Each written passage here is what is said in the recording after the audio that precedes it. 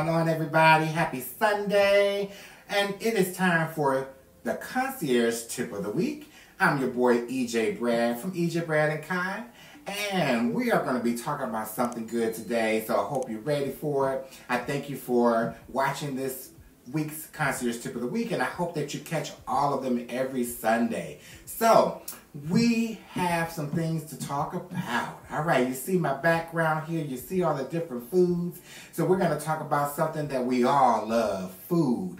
But not just food, we're going to talk about food delivery services. All right.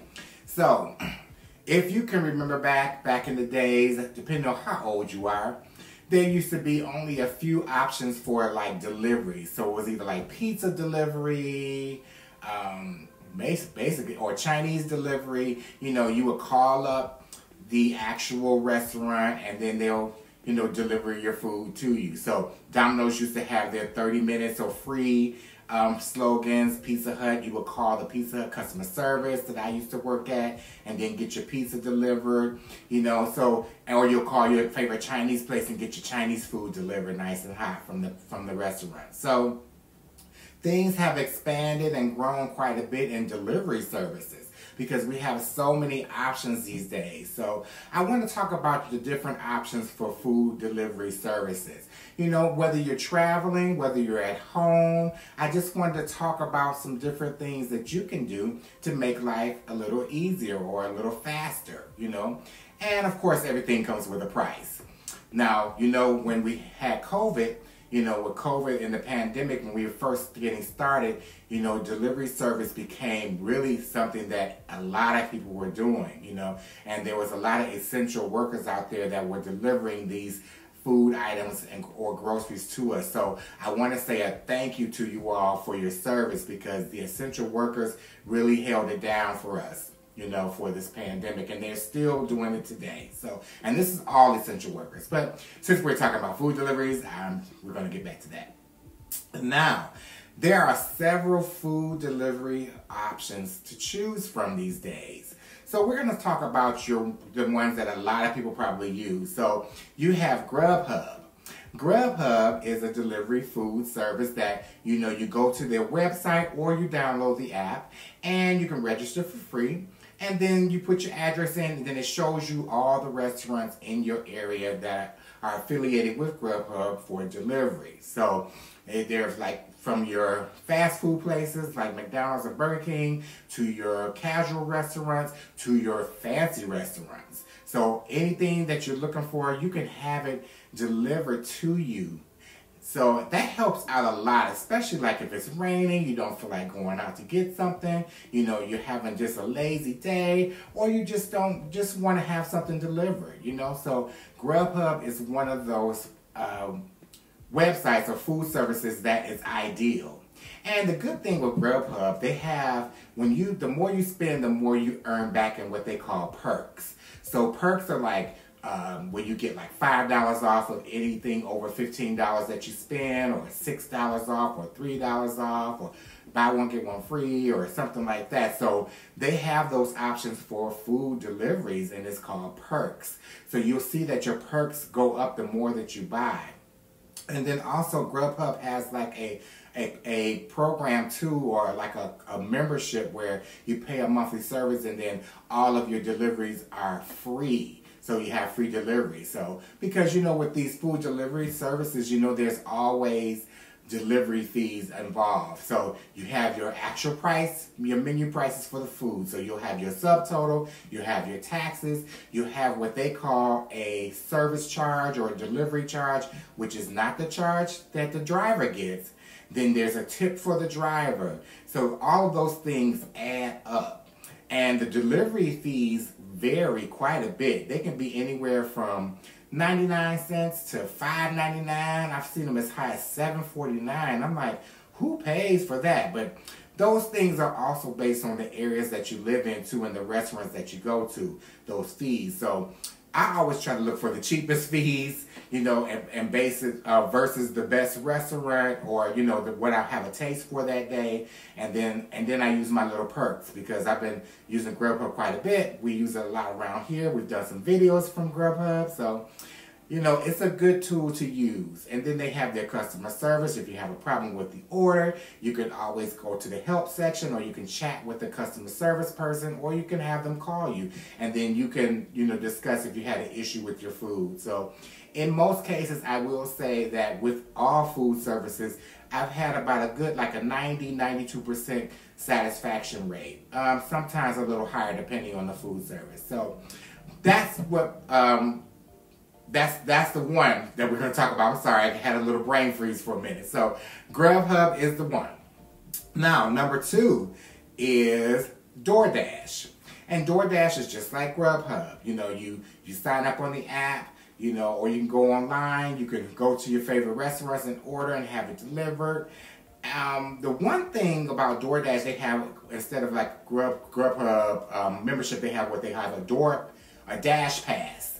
And the Dash Pass is something membership that you pay for where you can get unlimited deliveries for free. And then they also have other perks with that.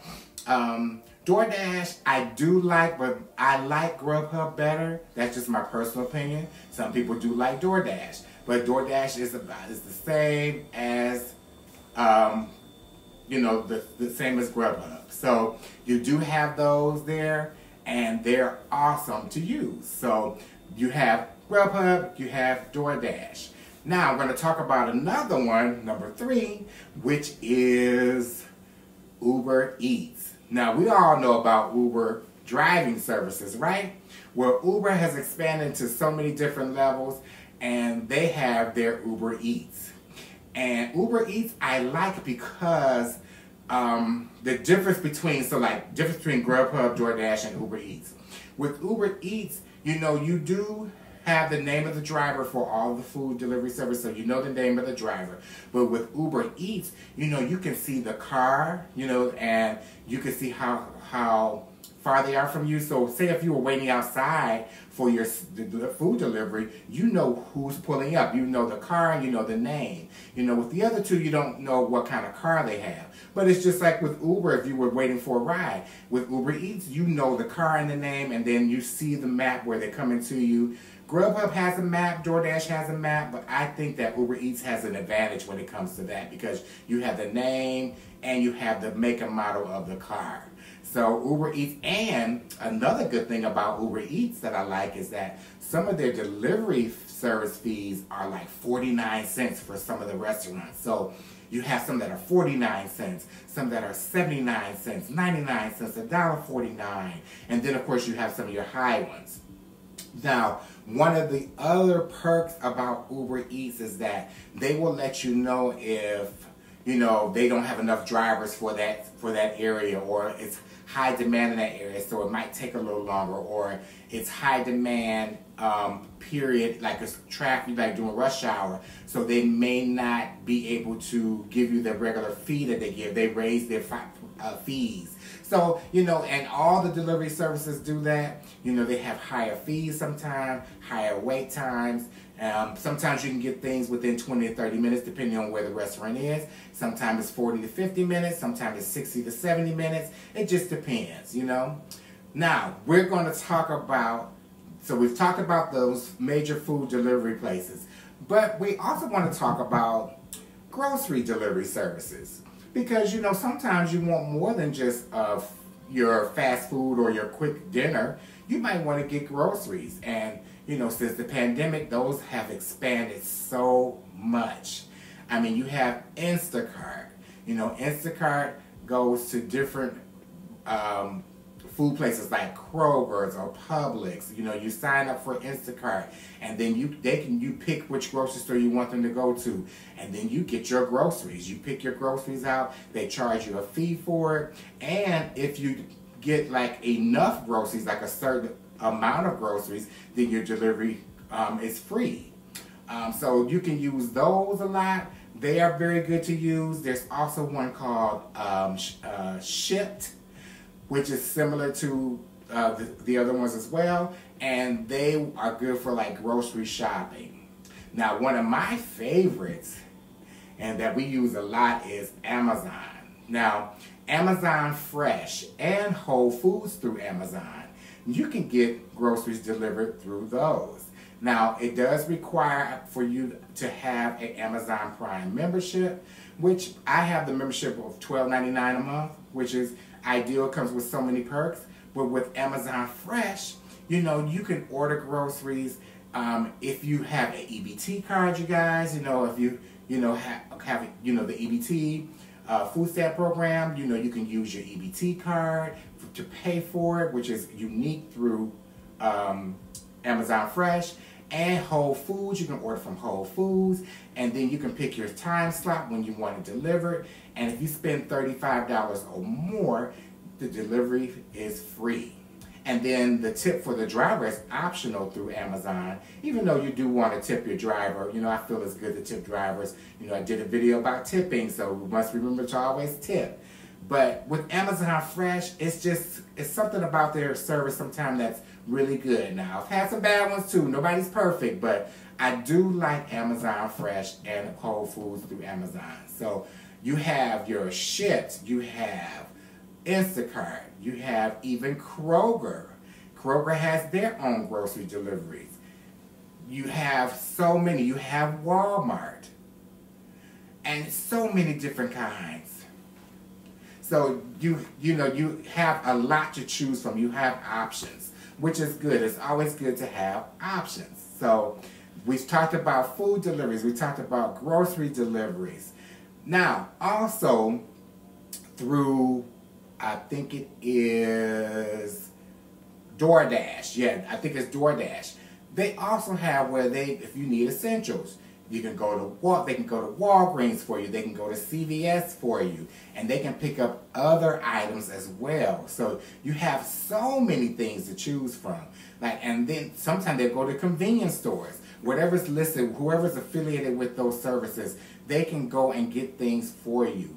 And I just think that all the delivery services are pretty good. Um, you know, you just have to see what your what's good for you, what's the best fit for you. You know, because you never know what that is. All right, so we have talked about so many different food delivery services and grocery delivery services and convenience store deliveries. Now, I'm going to tell you about two new things that you may not know about. One is not as new, but it is very popular, and the other one is fairly new. So, the one thing is GoPuff. Now, GoPuff was started by college students who wanted to make it easier for college students to get things that they needed when they're studying for exams. You know, they want to get some snacks late night or, or you know, like in the afternoon when they're studying. So GoPuff is an app that you can use to get just about any type of snack that you want. They have ice creams. They even have essential things as well. You know, you can get batteries. You can get flashlights. You can get toilet paper and paper towels. You know, you can get, um, I think you can even get COVID tests now through GoPuff as well. So they have a lot of things for everybody's needs. So that's a good thing. GoPuff is really good. And then you can earn points that way. If you have enough points, you can get 10% off of order once you get as much point, once you accumulate points. And it's really ideal too. So GoPuff, make sure you remember that one college kids is very essential for it, but I think it's good for everybody. We've used it a lot. And sometimes with GoPuff, what I like is that every now and then they throw in a free item. You know, you'll get like a free energy drink or a you know free protein bar or something like that, and it comes with a little card. You know, thank you for being with GoPuff. I really like GoPuff a lot. So that is also a great delivery service. Now, the next one I'm going to talk about is sometimes you just want a little bit more than food and groceries. Sometimes you want some little um, libations. You know, you want just some good old drinks, say some beer or some wine or some liquor. So there is an app that we discovered, Kai and myself. It's called Drizly. It has like a little bear on it. It's a really cute app, and it is, and it might not be available in all areas because it is based on who uses, you know, who signed up, what what liquor store or what beverage store signed up with the app. But you can buy beer, wine, liquor, you know, snacks. It's just a really cool app. You know, one time we wanted to get some things for the holidays. and we were able to get them. So depending on, it tells you, well, depending on your area, it tells you like which package stores or liquor stores or ABC stores are in your area and what's available at that store. So it'll tell you like if you like a certain type of wine, a white wine, or or rosé, or Moscato, or you know whatever kind of wine you want, or whatever kind of liquor you want. You pick the categories, or you type in the name of it. It tells you where it's located, where it's coming from, and what their limit, what their uh, minimum purchase is for delivery. Then there's a delivery fee attached to that as well. And then they tell you how long it's going to take to get it delivered. But it's really cool. And with that too, when you when they come to you, they do have to confirm that you are 21 and over. So they check your ID right before they give you the package because they want to make sure that you are 21 and older. So it's a really cool idea though. It's a great concept. And you know, I don't know if, if it's new to the to the social media world. But I do remember some years ago, like back in 2008, I was in New York, and New York probably was ahead of the times.